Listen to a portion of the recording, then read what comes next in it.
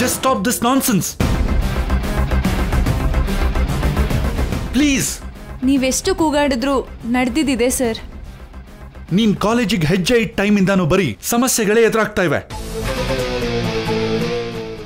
ಅಲ್ಲಮ್ಮ ವಸುಧರ ಅವ್ರಿಗೆ ನಿನ್ಮೇಲೆ ಇಷ್ಟೊಂದು ಕೋಪ ಇರುತ್ತಾ?